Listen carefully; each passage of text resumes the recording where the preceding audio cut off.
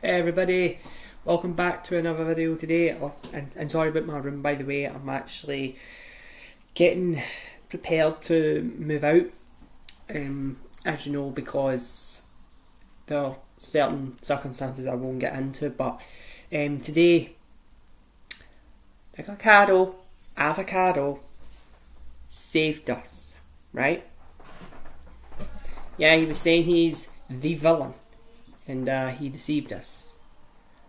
But to put it more accurately, he's basically an angel in a demon suit. So he tricked us all, right? He tricked us all because we all thought he was fat, legitimately fat, okay? And obviously, there is everything wrong about being fat But what he's essentially done was made the most revolting videos on eating a ton of ridiculous portions of food, trying to get views and make people disgusted. But here's what I'm really disgusted about. See the fans of Nickocado Avocado that encourage this. Use. To you all who promote that, use are sick human beings. This is why fat people die from overeating. They get heart attacks and all sorts of other cholesterol diseases and other stuff.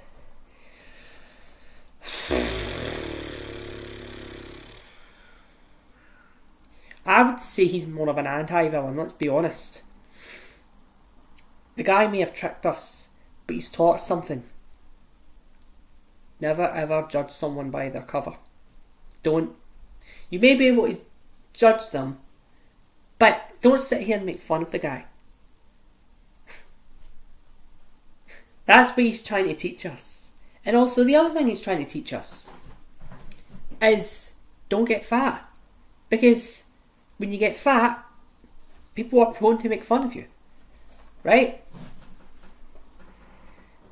I just simply ignore his videos because I was, I was never interested in his videos until Penguinz0 and um, Orange Peanut made a video on him saying how they're impressed and well I'm impressed too.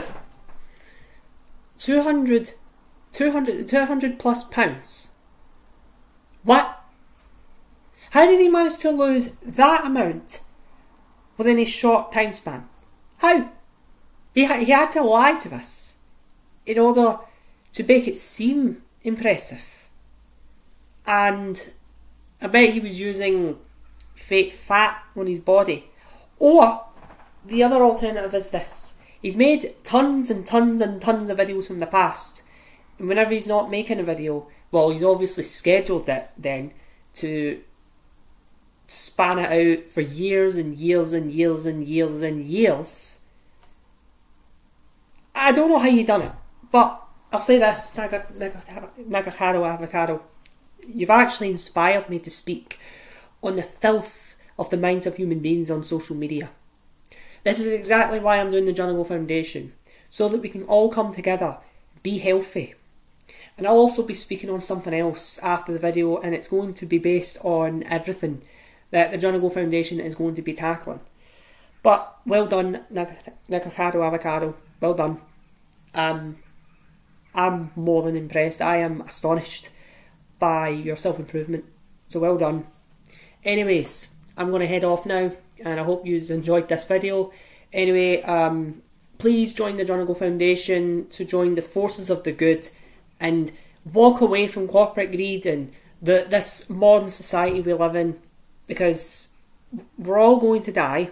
Life is too short. And I don't want us to be suffering for the rest of our lives under corporate greed. So why don't we just come together, build a community, an actual community, not online community. Although I've got an online platforms, that doesn't mean that we don't get to arrange to meet up with each other so that we could establish establish uh, uh, something of a bond. So anyway, my head's all over the place, but I had to make this video because Like the the guy is just he's the messenger we didn't deserve, but he came anyway. But anyway, I'll see you all later.